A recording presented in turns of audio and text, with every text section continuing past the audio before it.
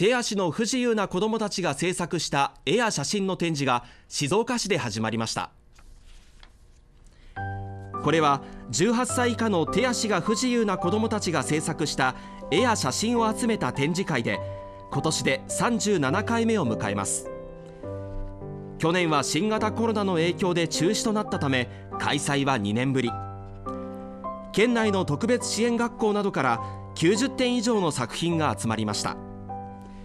優秀賞には紙粘土と水を使い波を表現した絵やカタツムリと濡れた葉っぱを写し雨上がりを表現した写真などが選ばれました。